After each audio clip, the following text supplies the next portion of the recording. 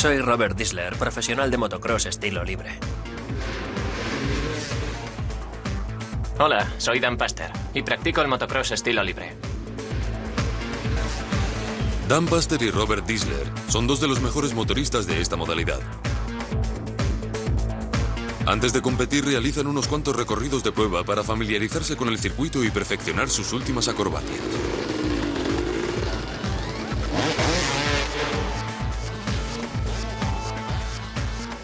En ciertos saltos alcanzamos los 9 y 10 metros de altura. Una moto no está hecha para eso. Al llegar abajo después de un salto el impacto es bastante fuerte y eso requiere una suspensión especial.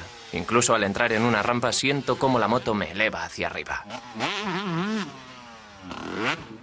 Estos motoristas utilizan una suspensión rígida para aumentar la altura del salto. Me ayudo empujando el manillar y equilibrándome con los pies en la rampa para intentar compensar la suspensión. De este modo, cuando estoy en lo alto, puedo separar el cuerpo y ascender más.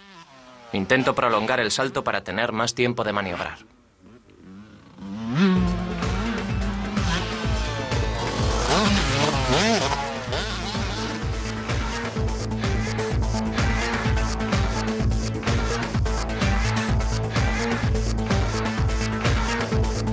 Cada motorista tiene su propio repertorio de acrobacias. Esta se llama Superman Sit Grab y siempre empiezo saltando normal, con las dos manos en el manillar, pero después me echo hacia atrás y pongo las manos en el asiento. Me pongo así, yo detrás y la moto delante.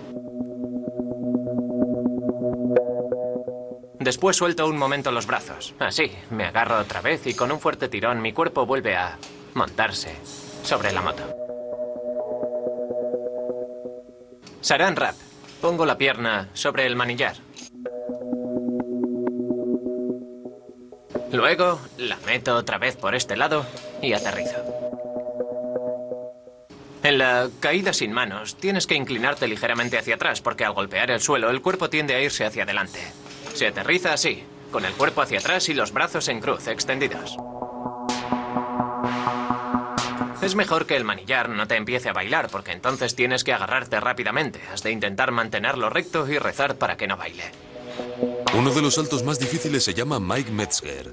Este salto empieza como el que llamamos bar hop, con los pies aquí arriba. Y las dos manos sueltas.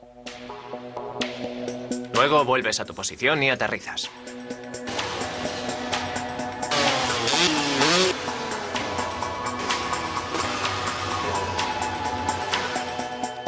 Da comienzo el espectáculo. El recinto se llena de entusiasmados fans. Entre tanto, los motoristas se preparan psicológicamente para la dura prueba que les aguarda.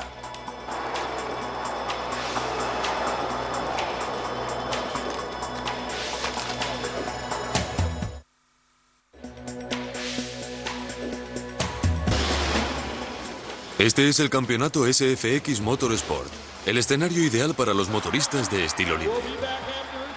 Yo creo que no hay una sensación como la de la presencia del público. Ellos están ahí y tú abajo, completamente solo. Sabes si les gusta o no el salto que estás haciendo porque oyes su reacción, oyes sus aplausos. Esa es una de las razones por las que me apasiona tanto este deporte. Los motoristas han de impresionar a los jueces y acabar la prueba sanos y salvos. Lo cierto es que todo ocurre bastante deprisa. Cuando estoy haciendo una acrobacia solo pienso en estar sobre mi asiento al llegar al suelo. Cuando estás en el aire te entra una extraña pero agradable sensación de ingravidez en el estómago. Después aterrizas, miras atrás y te dices a ti mismo, no puedo creer que acabe de saltar todo eso y no me haya roto nada. Impone bastante, piensas, Dios mío, ¿de verdad he hecho yo ese salto? Justo antes de la caída vuelves a estar sentado y con las manos en el manillar. Es como si estuvieras conduciendo un coche y te saltaras un semáforo en rojo y otro coche te pasara rozando, pero al final no te haces nada.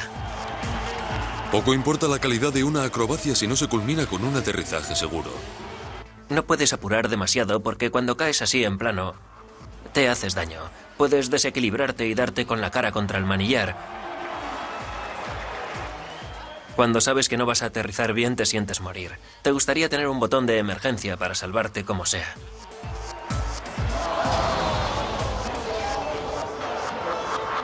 En el momento de la maniobra de aterrizaje puede suceder cualquier cosa. Un ángulo mal calculado, una mala orientación y adiós.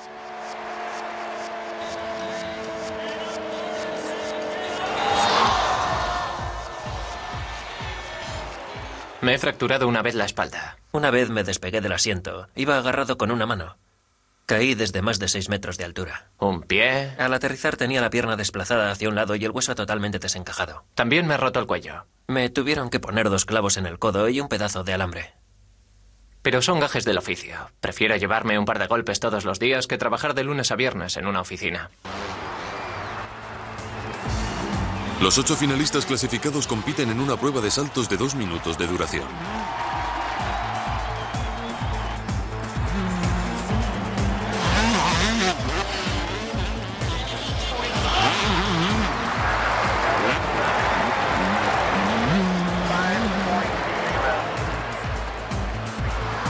El finalista que mejor puntuación obtiene se sienta en el trono de los campeones, pero es destronado si el siguiente finalista le supera. Esta vez ni Dan ni Robert se han alzado con el triunfo, pero volverán a intentarlo. Solo se vive una vez, así que mientras sea joven seguiré haciendo esto. Ya tendré tiempo de sentar la cabeza y todo eso. Pero de momento la moto es mi vida. Creo que la sensación que te proporciona el motocross estilo libre solo se puede describir como una descarga de adrenalina, desde que te subes a la moto hasta que desmontas. Es una emoción sin fin. Es como... como una colisión en coche que dura dos minutos y de la que sales ileso. Nada me gusta más que saltar con mi moto. Esto me apasiona, así que no pienso dejarlo.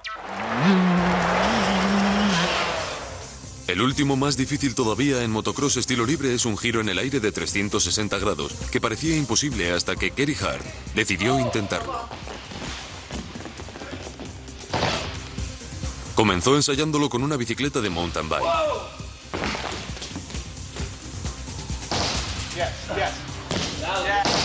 Estrenó este salto en el torneo Gravity Games del 2000. Tuvieron que hacerle una rampa especial con el doble de inclinación de lo habitual.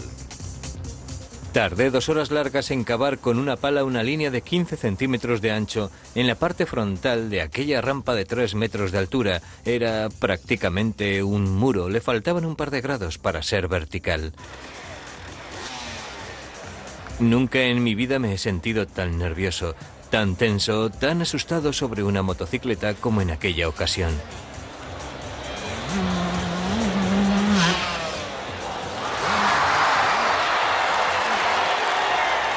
Kerry Hart cayó al aterrizar, pero ha sido el único hasta la fecha capaz de realizar con su moto un giro completo en el aire de 360 grados.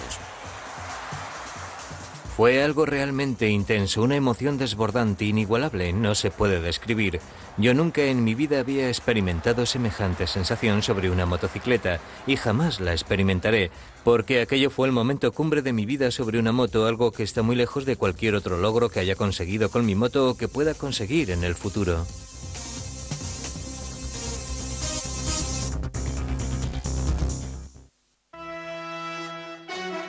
En el apartado de saltos de longitud en motocicleta, la primera plaza mundial la ocupa Jason Rennie. Nadie en la historia ha saltado una distancia más larga con una motocicleta que Jason. Hola, soy Jason Rennie y ostento el récord mundial de salto de longitud en motocicleta. El 9 de julio de 2000, Jason realizó un asombroso salto de más de 76 metros, batiendo el récord de distancia entre dos rampas que llevaba nueve años imbatido.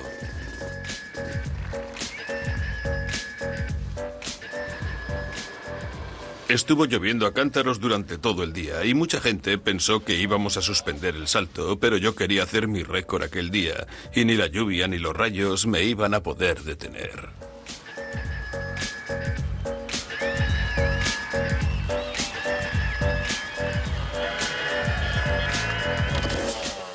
Es algo que se presiente. El día en el que batí el récord, ya en el momento en el que arranqué sabía que lo iba a conseguir, lo presentía. Al aproximarme a la rampa, algo en mi interior me decía que llevaba la velocidad justa, que todo, todo estaba a mi favor. Y aterrizar con éxito al otro lado de la rampa fue una sensación insuperable, es lo máximo. Me sentía absolutamente exultante. La multitud me aclamaba. Fue el delirio. Lo había conseguido.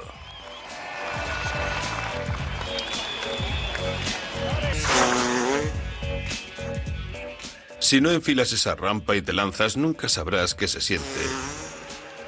Puedes sufrir un choque brutal. Puedes aterrizar triunfante al otro lado o quién sabe.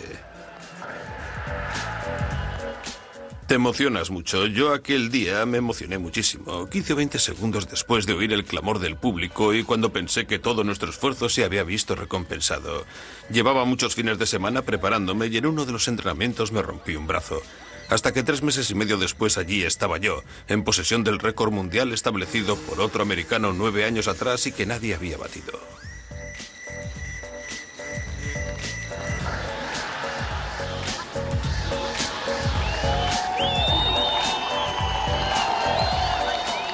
Fue una sensación inconmensurable, algo que difícilmente podré igualar tal vez en toda mi vida.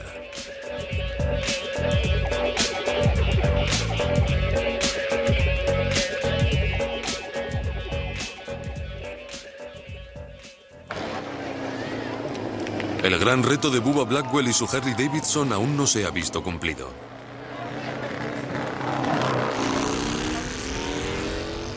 Su intento de batir el récord de salto de camiones en Evil Cannibal es la culminación del deseo abrigado durante toda una vida de convertirse en campeón del mundo.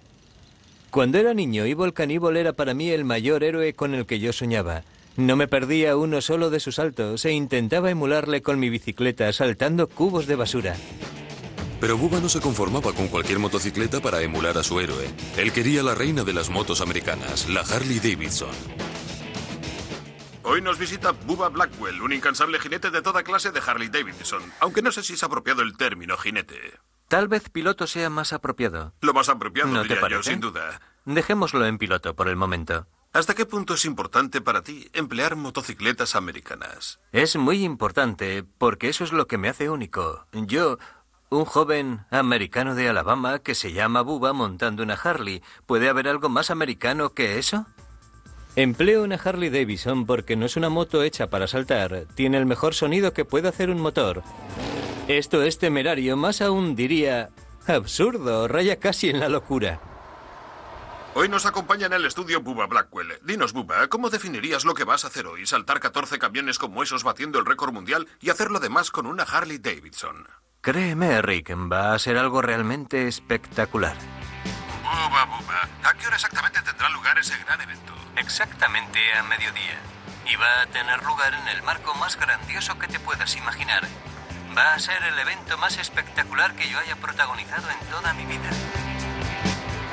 Bubba asegura que este será el mayor espectáculo jamás visto en su ciudad natal de Foley, en Alabama.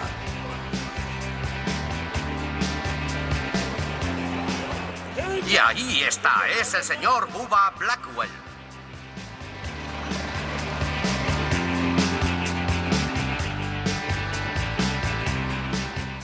Dios le bendiga con su protección y con éxito, con un gran éxito, no solamente hoy, sino en todos los días de su vida. Amén. Amén. Bien, Amén. muchachos, vamos allá. Volveré, amigos. Ahí viene, ¿preparados? Damas y caballeros, ha llegado el momento de contemplar a un héroe americano pilotando una leyenda americana e intentando cumplir un sueño americano. Bubba comenzará el espectáculo saltando seis camiones. A continuación aumentará ese número hasta nueve, para finalmente llegar a los 14. Seis camiones puede no parecer un gran salto, pero lo es, y extremadamente peligroso. En cuanto Buba aterrice, el departamento de bomberos nos ayudará a contener la marea de gente que se formará. Los vamos a necesitar. Estaremos en contacto con el hospital y tendremos preparado un helicóptero o ambulancia. Espero que no lo necesitemos.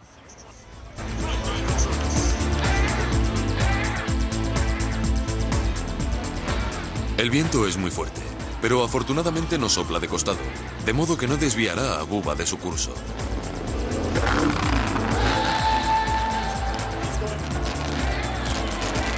Bubba tantea la posición de la rampa una última vez.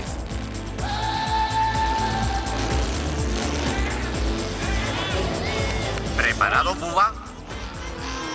Debe controlar su velocidad al máximo, ya que una velocidad excesiva podría hacerle aterrizar muy lejos de la rampa de llegada. Cuando aterrizas en la parte baja de la rampa, el impacto es brutal. Mucha gente piensa que un salto en motocicleta de una rampa a otra no es un desplazamiento brusco, y vaya si lo es. Cuando sales de la rampa de despegue y te elevas en el aire, aún ruedas a casi 140 kilómetros por hora y pierdes maniobrabilidad. Caes literalmente del cielo. Es una caída de entre 3 y 5 metros, y eso es extremadamente doloroso. Tú tienes entre 7 y 9 centímetros de suspensión para absorber una moto de casi 200 kilogramos en una caída de más de 3 metros. Tu cuerpo recibe todo ese impacto contra el asiento. Ese impacto recorre toda tu columna y las vibraciones de la parte delantera de la máquina se transmiten por toda la longitud de tus brazos hasta los hombros. El impacto, por tanto, viene a ser como el de un fuerte golpe. En cuanto abandona la rampa, la moto queda suspendida en el aire y lo único que puedes hacer es esperar aterrizar bien en la rampa de llegada.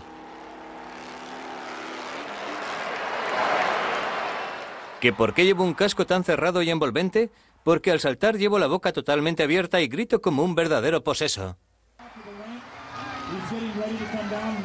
La esposa de Bubba, Jamie, también comparte la tensión. Cuando Bubba está a punto de llegar a la segunda rampa, me pongo muy nerviosa. Muy, muy nerviosa. Pero cuando desciende por ella, grito de emoción y alivio. Esta vez el salto será por encima de nueve camiones. Más de 30 metros de distancia. Estos son ya palabras mayores.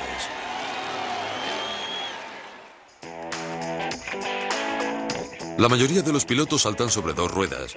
Este puede hacerlo sobre cuatro. Hola, soy Matt Coulter, el hombre canguro, campeón de saltos en quad. Matt Coulter es el único piloto profesional del mundo de saltos en quad.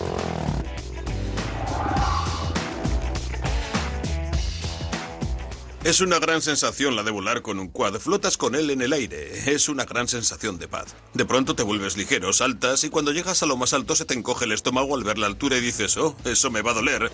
Sí, es una gran sensación. Saltar en un quad es un reto mucho mayor que saltar en una motocicleta. La motocicleta es más aerodinámica, corta el aire mucho mejor. Un quad no es ni mucho menos tan aerodinámico. Si pierdes el control de tu quad en el aire, resulta prácticamente imposible recuperarlo. Solo puedes apiarte de él saltando al vacío, en caída libre. Matt Coulter, el hombre canguro, es el líder mundial indiscutible del quad. Ha llegado a saltar con su aparato un obstáculo formado por 26 autobuses, es decir, una distancia de más de 60 metros.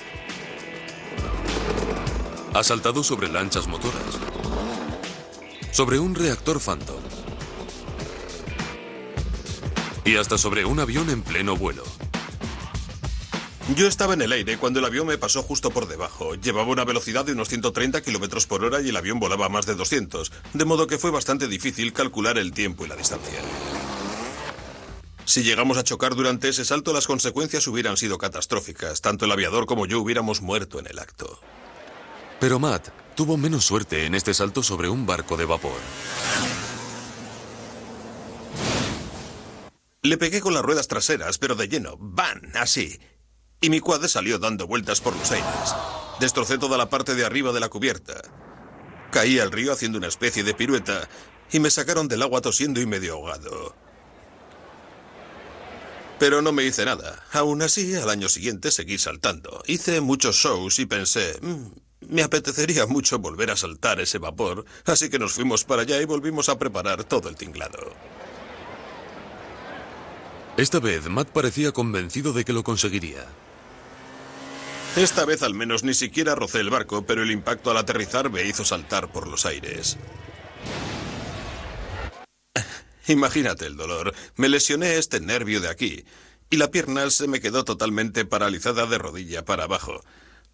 La lesión alcanza más o menos hasta esta zona, por eso ahora solo puedo doblar el pie hacia abajo y un poco los dedos, pero hacia arriba no. Son los dos únicos accidentes graves que he tenido. Toco madera para que no haya más. La tercera vez si lo logro será un gran día. Pero el hombre canguro ha afrontado retos aún mayores que los grandes saltos en quad. Hace un par de años me diagnosticaron un cáncer, un cáncer de testículos. Estaba aterrorizado. Y recuerdo que estando en mi cama del hospital no dejaba de pensar, no es normal que después de las cosas que he hecho, como saltar sobre aviones en marcha y grandes barcos de vapor, esté ahora en un hospital a punto de morir por causas naturales como muere la mayoría de la gente. Cuesta aceptar eso, pero también te hace ver la vida de otro modo, querer vivir el momento porque no sabes si vas a morirte al día siguiente. No creo que yo pudiera vivir sin esto. No podría vivir sin mi quad, porque es algo que llevo haciendo toda mi vida. ¿Cómo puedes renunciar a algo cuando sencillamente no puedes a menos que una fuerza mayor te lo impida? Si me quedara paralítico, supongamos hasta los párpados, seguro que ingeniaría algún sistema para seguir pilotando mi quad aunque fuera solo con los párpados. Es algo en cierto modo espiritual. Poder controlar así una máquina y flotar en el aire desafiando la gravedad.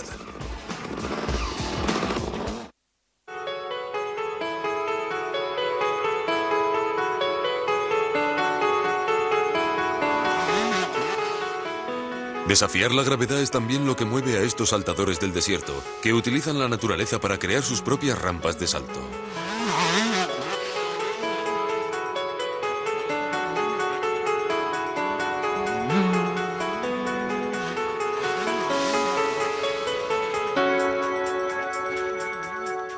Es una sensación realmente intensa surcar el aire con tu moto. Es la emoción de salir ahí y sentirte libre, con el cielo como único límite. No creo que pueda haber nada mejor.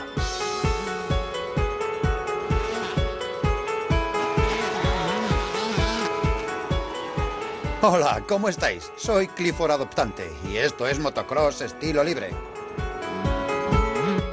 A Clifford Adoptante le gusta conducir por las colinas del sur de California. Le acompaña Dan Paster, que viene de competir en Columbus, Ohio.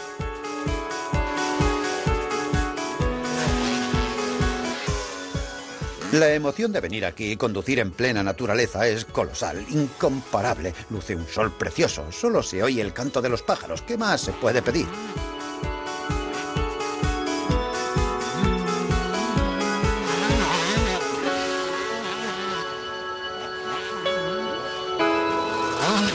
Pero hay un piloto del desierto al que le apasionan las emociones sin límite.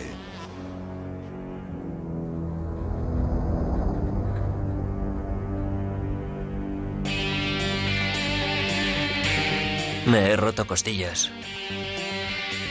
Me he hecho cortes en la nariz, en la cara. Me he roto ligamentos. Me he dislocado hombros, muñecas. Se me han salido huesos, me he despellejado la cara entera. Saltar más lejos que nadie es el sueño de cualquiera de estos motoristas. Este hombre lo intentó y casi le cuesta la vida. Me llamo Seth Enslow y soy motorista. Seth Enslow se crió en Nueva York, donde se inició en el motociclismo desde muy temprana edad. Esa pasión sigue consumiendo casi todo su tiempo y energías. Comenzó a hacerse famoso saltando dunas en el desierto. Una de sus especialidades eran los saltos de gigante, otra la de salir con vida de aparatosos accidentes.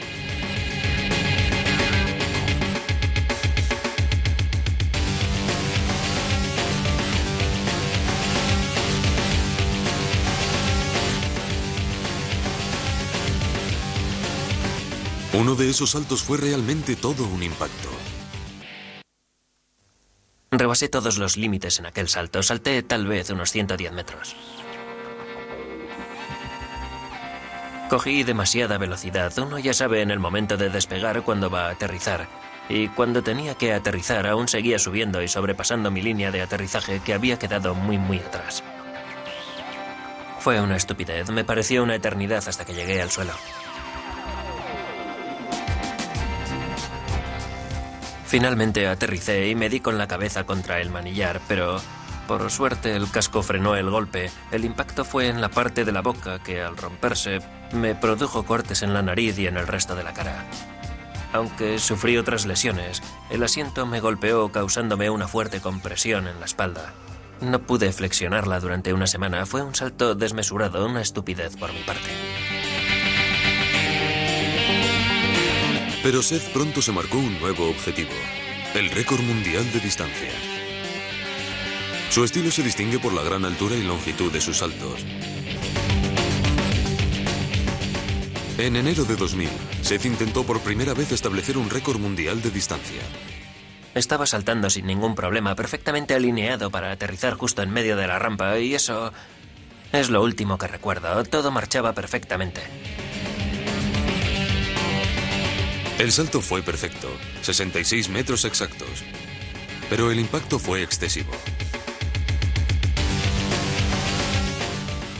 Desperté unos cuatro o cinco minutos después. Estaba tumbado mirando al cielo y preguntándome qué había pasado. Después vi que la moto se había partido en dos. Tenaz como nadie, pocas semanas después, Seth volvió a intentarlo nuevamente. Esta vez no tuvo tanta suerte.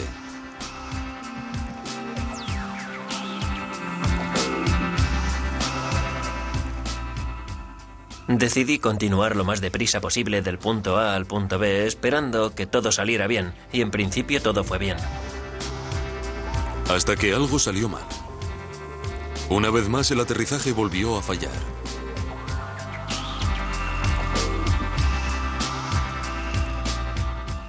Iba a unos 110 kilómetros por hora.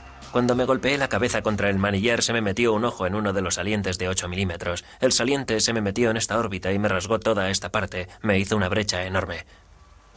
Salí despedido por la parte posterior de la moto. Caí sobre el hombro derecho y me rompí la clavícula. El golpe que me di en la cabeza fue fortísimo. Aquel tornillo de 8 milímetros del manillar fue como un cuchillo desgarrándome toda esta parte. Se me clavó aquí arriba y me dejó el hueso destrozado. Yo quería levantarme, quería ver si estaba bien, porque tenía el ojo totalmente ensangrentado. Pero aún así quería levantarme. Maldita sea, decía, gritaba y hacía acopio de las fuerzas que me quedaban para tratar de levantarme mientras la sangre chorreaba a borbotones de mi frente. Al final llegó un amigo, me dijo que me calmara, pidió auxilio y llegó un helicóptero que me condujo hasta el hospital.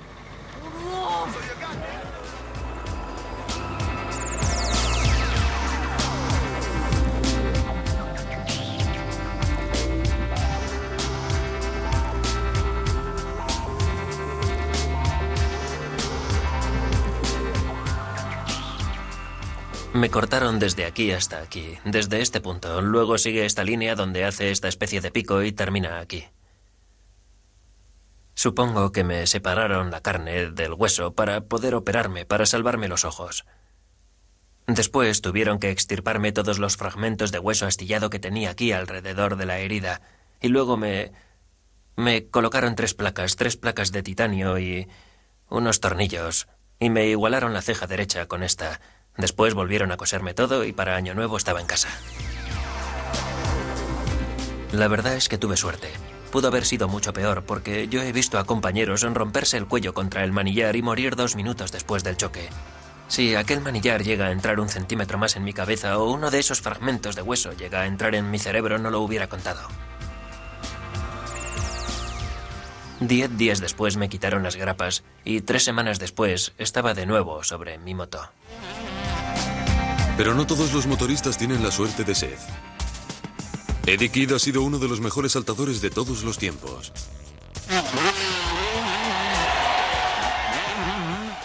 Me atraía la emoción del riesgo. La popularidad, la fama. Antes del accidente jamás me había roto ningún hueso.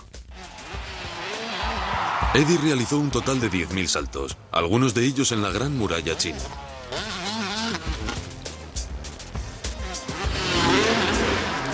Hasta que el 5 de agosto de 1996 intentó un salto que cambiaría su vida para siempre. No debería haber hecho aquel salto. Había 20.000 personas allí. Era un salto atípico, sobre una rampa ascendente. Yo desaconsejé aquel salto, porque un aterrizaje sobre una rampa ascendente es imposible de conseguir, en mi opinión. Y Eddie me lo demostró.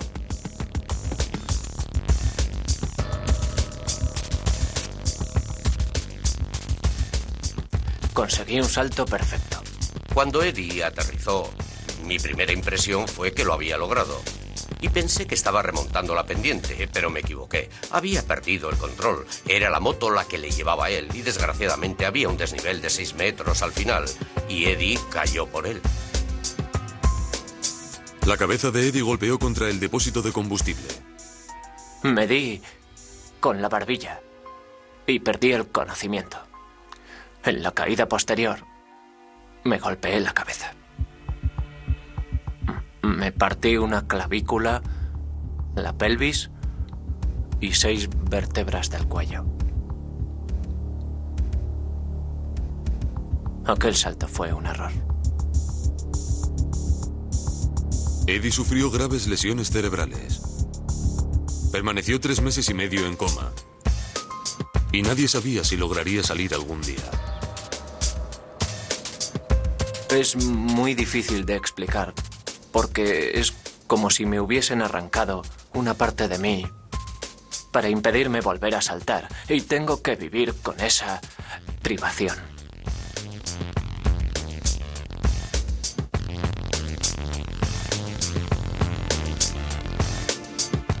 Lo echo de menos.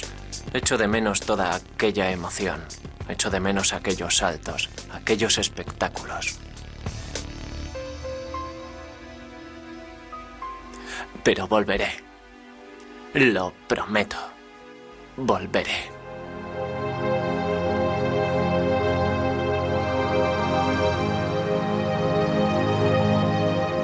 Hoy Bubba Blackwell también arriesgará su vida intentando saltar una barrera de 14 camiones.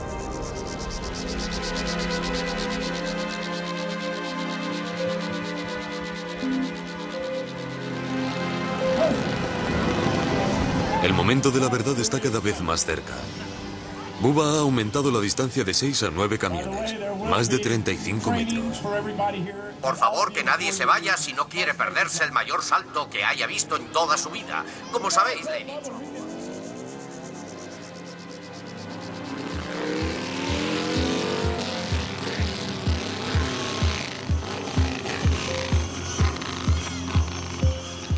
Para salvar esta mayor distancia sobre su pesada Harley Davidson, Bubba tendrá que aterrizar a mayor velocidad.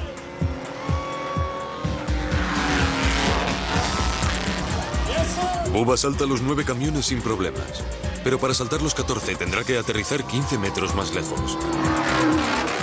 Tenemos una franja de seguridad que cubre los dos últimos camiones, pero si aterrizo sobre esa franja de seguridad no significa en absoluto que vaya a tener un aterrizaje seguro. Significa solamente que no golpearé el camión, pero tendré sin duda un aterrizaje muy violento y probablemente saldré rebotado por encima del manillar o bien la moto rebotará encima de mí, que fue lo que me pasó en Portland, Oregón. Oh, Buba, Dios mío. ¿Qué? Creo que tienes algo ahí. Ah, ya. ¿Qué es eso? Esto no. Dios mío. Impresiona, ¿eh? Parece una pieza de metal, una pieza de robot. Sí, es algo muy parecido. Pero tío, ¿qué te pasó ahí? Me lo hice saltando una barrera de 13 coches en Portland, Oregón. Me quedé corto. Solo tenía 60 metros para coger velocidad y me quedé corto. Creí que podría aterrizar en la rampa de seguridad y que no me pasaría nada. Y supongo que se te salieron uno o dos huesos en aquel accidente. Efectivamente, así fue. Se me rompió una clavícula. Me penetró en el hombro. Es más, atravesó mi traje de cuero y cayó sobre el suelo. Y eran solo 13 coches, hoy serán 14 camiones. ¿Estás seguro de que te lo has pensado bien? Y esta vez solo tengo 90 metros para coger velocidad. Dios, qué espanto.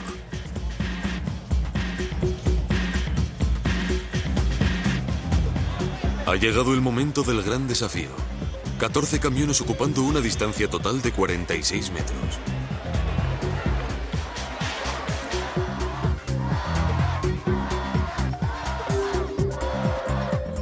Estoy deseando subir a mi moto y acabar con esto cuanto antes.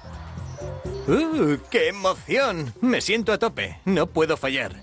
Solo tengo una oportunidad. Si me quedo un pelín corto, adiós, no habrá una segunda.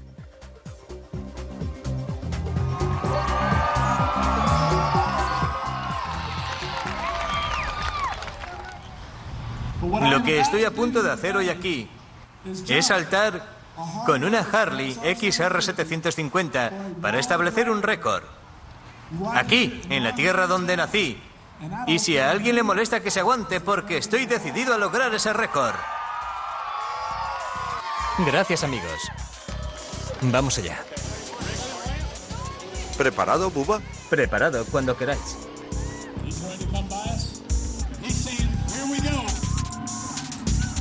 Años y años de preparación solo para este momento.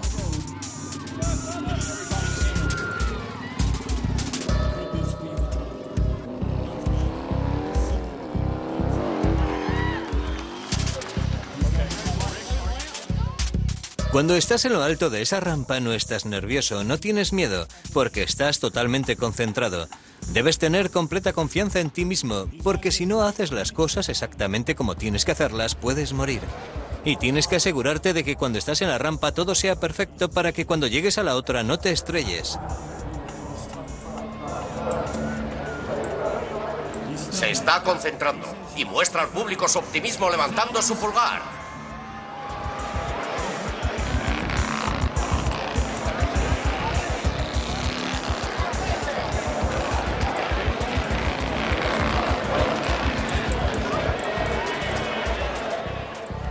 No hay absolutamente nada, ninguna otra cosa en mi vida que me proporcione tanta emoción, tanta satisfacción como culminar con éxito un gran salto de motociclismo. Aunque comprendo que puede no haber tal vez muchas personas que compartan esta sensación o el deseo de tener esta sensación. Pero yo vivo por y para esto.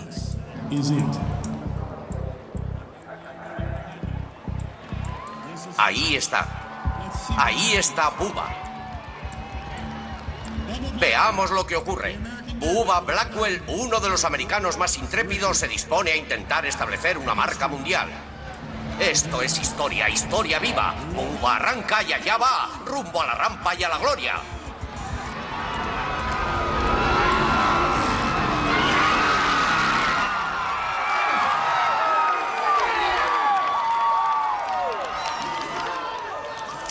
Bubba logra por fin su ansiado récord. ¡Alucinante!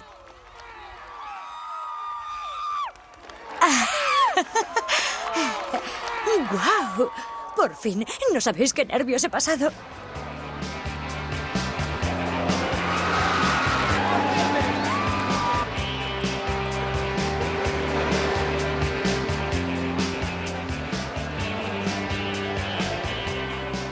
Estoy agradecido, estoy emocionado.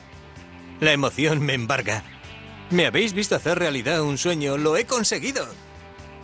¿Qué es la vida si no se cumplen sueños como este?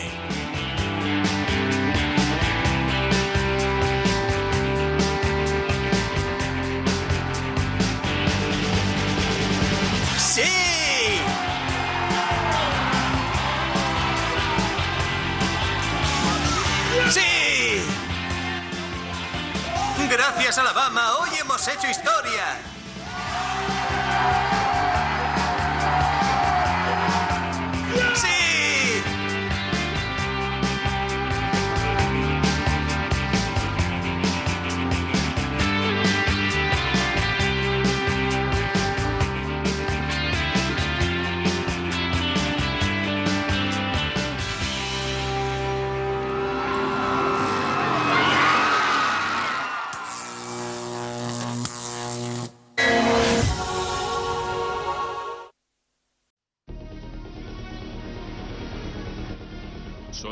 Máquinas militares más poderosas de la Tierra.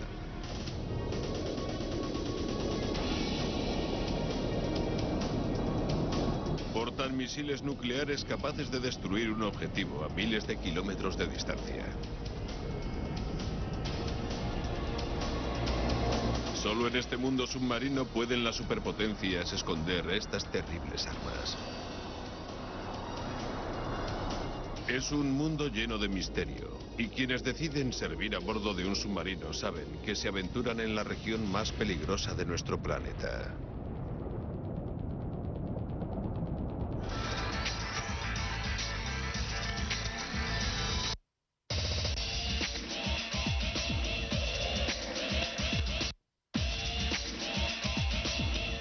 Supermáquinas, submarinos. La base de submarinos de Kings Bay, Georgia, aloja la mitad de la flota estadounidense de 18 submarinos Trident. Este es el Nebraska. Tan rápido como cualquier buque de la Marina, funciona con energía nuclear y está armado con 24 misiles Trident. La misión de la Fuerza Norteamericana de Submarinos con Misiles Balísticos siempre ha sido la disuasión de la guerra. Es muy necesario que mantengamos una potente fuerza disuasoria nuclear para que cualquier país que posea armas nucleares o de cualquier otro tipo de destrucción masiva jamás considere utilizarlas contra Norteamérica o sus aliados.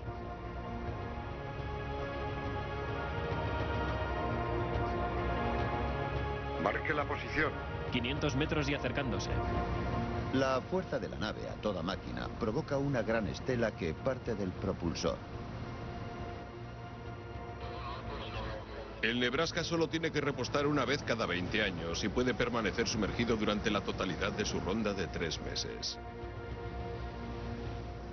La nave es literalmente independiente de la superficie, limitada solo por la cantidad de alimento que podamos llevar.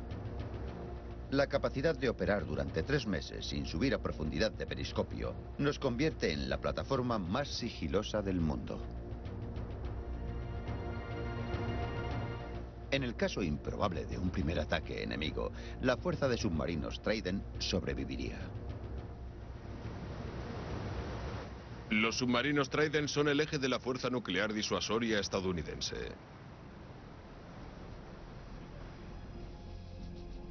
En 1981, la Unión Soviética lanzó rápidamente su respuesta al Trident.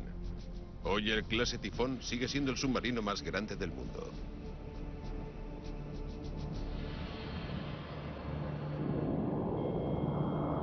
Durante la Guerra Fría, aunque los submarinos soviéticos y estadounidenses podían operar en cualquier mar, una zona se convirtió en su coto de caza natural. Casquete polar del Ártico separaba a las dos superpotencias y era el lugar ideal para lanzar un ataque a las entrañas del territorio enemigo. Si era necesario un lanzamiento de misiles y no había cerca una superficie de agua, el casco reforzado de estos submarinos podía romper hielo de un grosor de 120 centímetros. En plena Guerra Fría, los submarinos soviéticos se volvieron tan poderosos y peligrosos que debían rastrearse y vigilarse a cualquier precio. Los pequeños submarinos cazadores estadounidenses se diseñaron para destruir a los tifón soviéticos antes de que estos pudieran lanzar un ataque. Los tifón soviéticos se apostaban bajo el hielo tratando de esconderse de los cazadores estadounidenses. Los tifón llevaban como escolta submarinos de ataque más pequeños, como el Akula.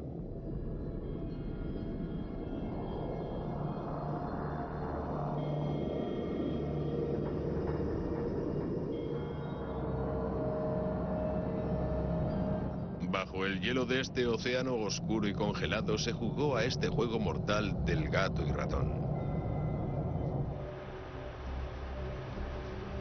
El pionero de la navegación bajo el casquete polar fue el capitán Fred McLaren, llamado el Zorro del Ártico. Tuvimos que aprender lo más rápido posible la topografía submarina del Ártico y también el aspecto del techo de hielo. ¿Cómo era su sonido? En otras palabras, cómo operar un submarino sumergido, cómo disparar torpedos desde ahí abajo. McLaren pasó años bajo el casquete polar en submarinos cazadores, cartografiando cañones y picos.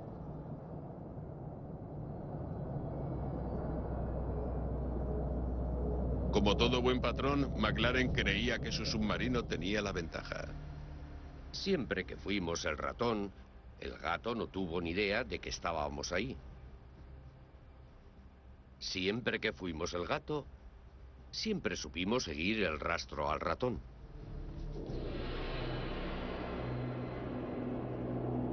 Los submarinos soviéticos avanzaban bajo el hielo y los cazadores seguían cada movimiento. Ante cualquier ruido sospechoso, los capitanes como McLaren tenían órdenes estrictas. Si ese hubiera sido el caso, si se hubiese escuchado un sonido relacionado con un lanzamiento, cualquier sonido parecido, habría que haber actuado con rapidez. Acabar con el submarino lanzador antes de que hubiera partido el primer misil habría sido la rapidez ideal. La tripulación del Nebraska acaba de ver el que será su último rayo de sol en tres meses. Han llegado a aguas profundas y se preparan para descender. Inmersión, inmersión, tubos abiertos. El doble casco alberga enormes tanques de lastre. Cuando 7.600 litros de mar inundan los tanques, el aire sale empujado a alta presión por pequeños orificios. 4-1, 4-2, 4-3. Seis pies, señor. 6-1, 6-2, 6-3.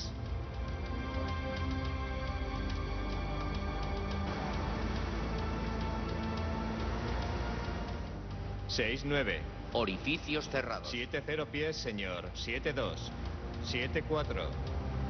Siete seis. Siete ocho. Ocho cero. Ocho dos. Ocho cuatro. Número 2 bajando, señor. Ocho ocho. Nueve cero pies, señor. El Nebraska se desliza a unas profundidades en las que se ocultará durante toda su ronda de tres meses.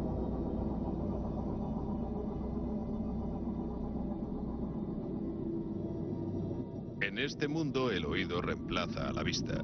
Los submarinos poseen filas de micrófonos en el casco.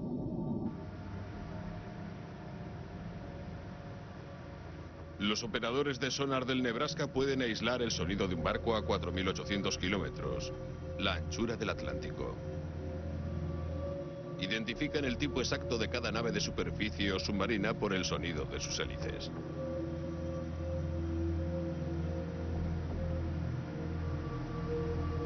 Pueden calcular velocidad y distancia. Si cualquier buque se acerca demasiado, el Nebraska se vuelve ultrasilencioso para permanecer invisible. En silencio, en silencio. En segundos el submarino pasa de callado a silencioso. Se desconecta cualquier elemento que no sea vital para las operaciones básicas.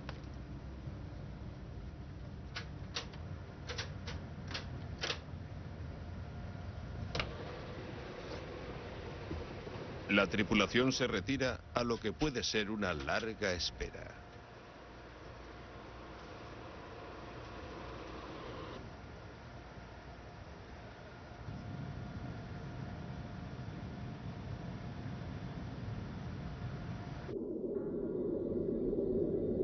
Se han incorporado millones de euros de tecnología silenciosa secreta a estos submarinos. Los Trident son tan silenciosos que la Marina asegura que ninguno ha sido rastreado nunca por un enemigo.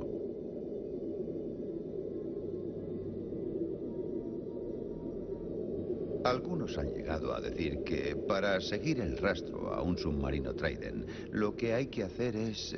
es. Seguir el agujero de silencio que hay a su alrededor. Encontrar al Nebraska en el Atlántico es lo más absurdo que se puede pedir a un ingeniero.